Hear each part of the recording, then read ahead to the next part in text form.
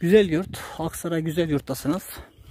Ve bu bölgede dediğim gibi Manastır Vadisi'nde birçok tarihi yapıyı bir arada görebiliyorsunuz.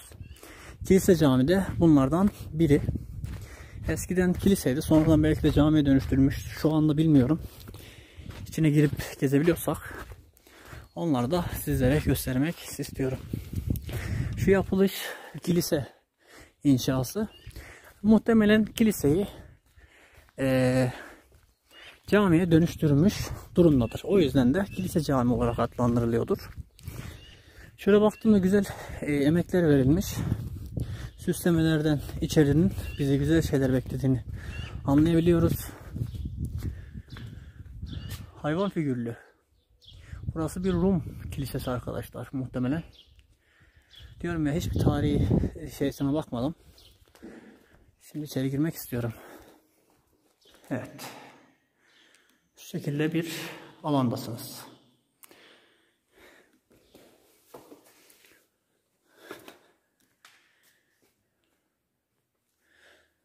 Bu şekilde cami kilisede göstermiş olalım. E, direklerin nefleri varmış. Tabii ki de e, cami dönüştürüm sonucunda kiliseden e, camiye geçiş sağlanmış. Görmüş olduğunuz gibi ibadete açık bir alan muhtemelen. Çünkü namaz kılınan aynı şekilde yerdeki seccade de bunu bize gösteriyor.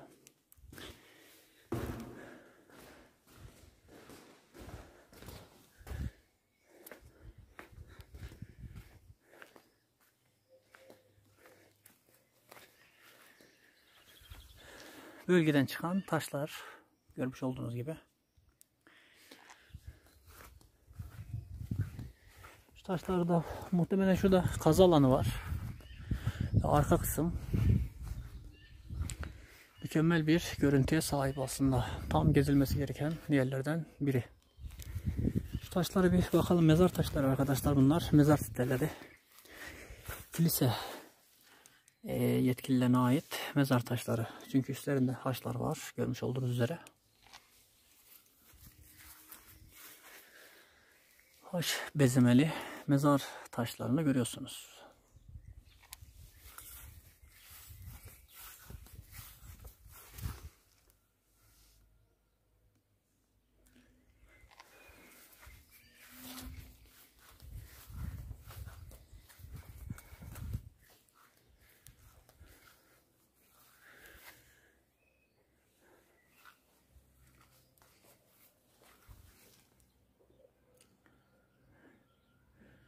Şu anda bunu anlamaya çalışıyorum. Hala da çözmüş değilim. E, kayıtımızı izlerken bunu e, daha dikkatli bakacağım arkadaşlar.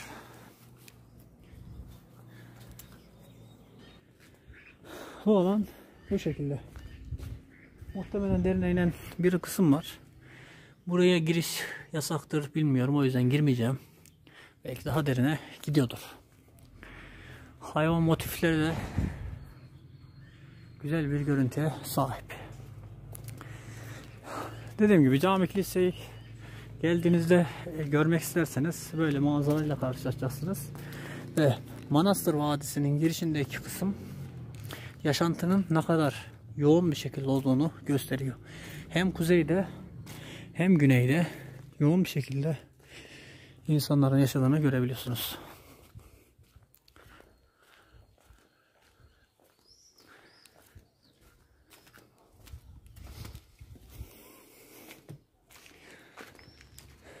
Restorasyonlar da hala devam ediyor.